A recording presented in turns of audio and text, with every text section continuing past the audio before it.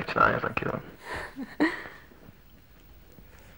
Kérdés jó, és jogos. Férfiak empátiásabbak bírnak lenni a dolog, úgyhogy szerintem mondja. Nem, mint hogy min kívül lehet még mit csinálni? Azon kívül, hogy megbeszéli az ember a feleségével? Igen, igen.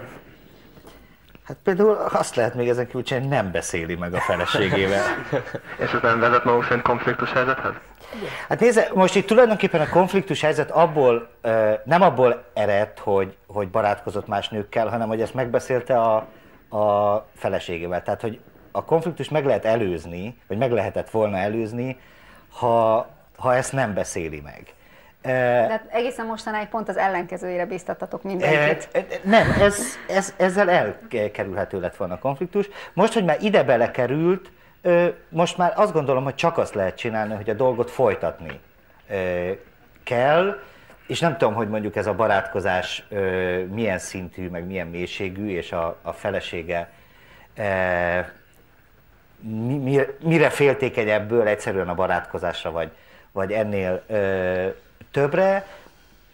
Valószínűleg egyszerűen a feleségével meg kell ismertetni azokat a szituációkat, meg azokat a mozgatórugókat, amiért ezt csinálja, és talán akkor megérti.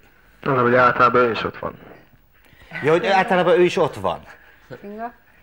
Hát vagy pedig azt gondolom, hogy az elmondás az megint nem megoldás önmagában, hanem ez esetben is meg lehet kérdezni a feleség szempontjait, hogy ő mit tud elfogadni, mi az, amit nem tud elfogadni, ő mit szeretne, és el tudom képzelni, hogy lehet egyezkedni, mi a kompromisszum itt a végén, azt nem tudom, de hogy, hogy, hogy én a másik felet nagyon fontosnak érzem mindenféle ilyen eh, helyzetben. Tehát itt mind a két telefonba fölmerült az, hogy az, hogy az ember elmondja a saját szempontjait, ez önmagában nem konfliktuskezelés. Legalább ilyen fontos a másik oldal meghallgatása, és megértése valóban az empátia használata ez ügyben. Köszönjük szépen, hogy hívott minket. Viszont hallásra. Gyöngyi Miskolcról van a vonalban. Halló, jó halló, estét. jó estét kívánok. Jó estét, Andrám. Én egy cigánylány vagyok, egy magyar fiúhoz mentem feleségül. Van három szép gyerekünk, de a problémám az, hogy a férjem családja engem gyűlöl. Nem fogadtak el. Hosszú évek óta mindent megteszek, főzök, mosok, takarítok, de én csak egy cigánykúra vagyok a szemükben, akik tönkretette a fiúk életét. Nem tudok mit csinálni. Segítsenek. Mit szólsz ehhez, Józsi? Szerintem az van akkor, hogy lenézik őt, tehát más sem lehet. Mert hogy ő cigány, zul, vagyis a férje meg magyar. Hát csak az lehet, hogy lenézik. Más sem, ha nem tudják elfogadni. Haragudnak rá, hogy cigány. Más sem tudok mondani. Bennem azért fölmerül itt is, mint ahogy mindenféle ilyen családi konfliktus esetében, hogy a férj vajon mennyire támogatja meg őt ezekben a családi vitákban, mert nagyon nehéz egyedül maradni. Bármi miatt is vannak ezek a viták a családban. És hogy nagyon fontosnak érzem, hogy az ember kapjon egy támaszt egy ilyen helyzetben. A férjétől. Uh-huh. Igen. Hát a nagyobb családról esett szó, és a férjről nem. Hát Én úgy gondolom, a három gyermek megérdemli a konfliktusnak a felvállalását. Három ö, gyermeknek a sorsa ennél többet is megérdemel, és itt esetleg azt lehet, ha még a vonalban van kedves fiatalasszony csinálni, hogy ön állít bevallása szerint cigány. A cigányságából fakadó ö, értékeket, amik valós értékek, szembeállíthatná az apósának a magyarságából fakadó értéktelenségekkel, vagy éppen értékekkel. Mert ez a fajta nem elfogadás, ez a cigányokról ugye nem jellemző. A cigány elfogad szinte mindenkit. Ez az ön apósának egy kimondottan negatív, levetkőzhető, bár nem tudom mennyi idős a após, nem biztos, hogy levetkőzhető ö, tulajdonsága, egy kimondottan negatív tulajdonság.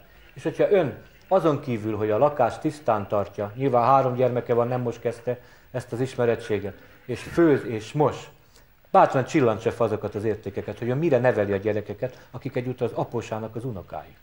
Hogy ön Köszönöm szépen tisztán járatja, és így tovább, és vállalja fel a konfliktust az apósával szemben, mert a mostani családja társadalmi szinten is azt kell mondjam értékesebb, hisz övék a jövő.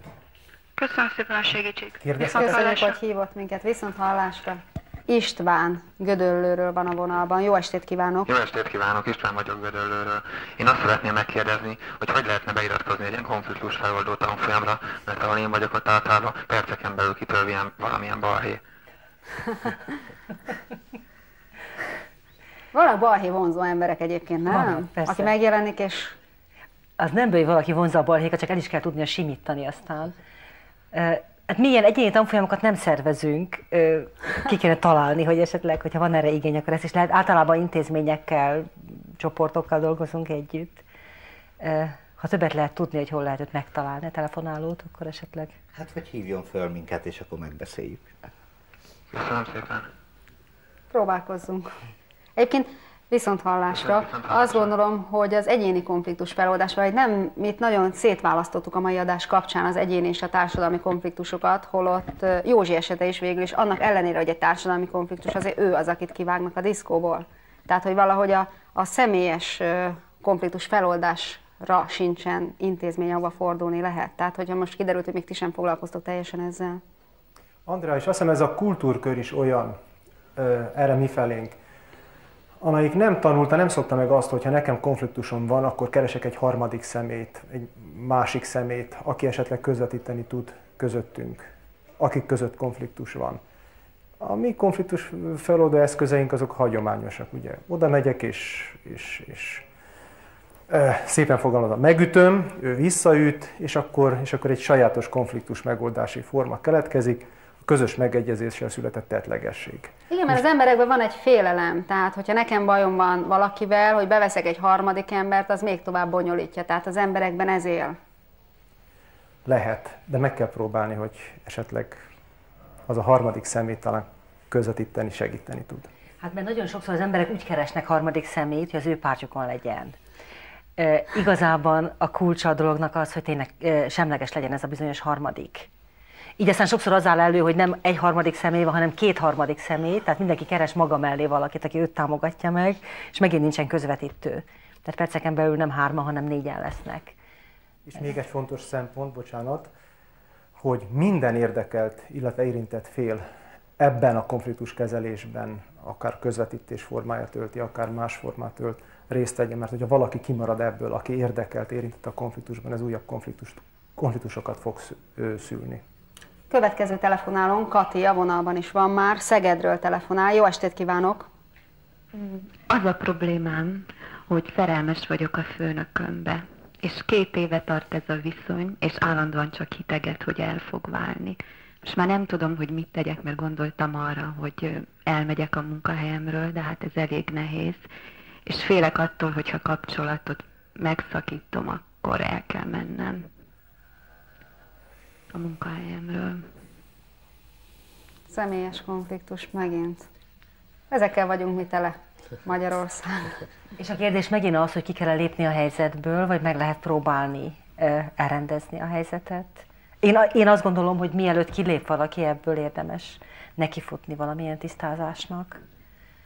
És meddig érdemes egy ilyen helyzetben benn maradni például, hogy van egy konfliktus, meddig érdemes azt a konfliktust megpróbálni megoldani, és hol van az a határ, ahol azt mondom, hogy ki kell, kilépek.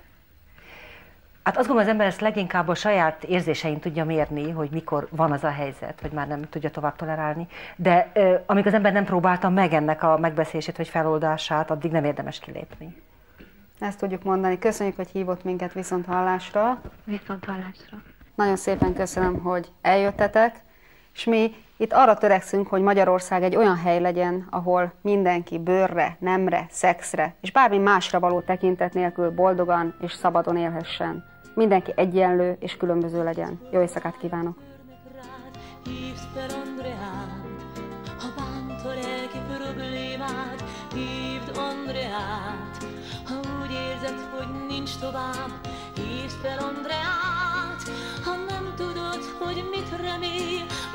ne csinálj, mit tegyél, már egy jó barát. Hívd fel, hívd Andreát!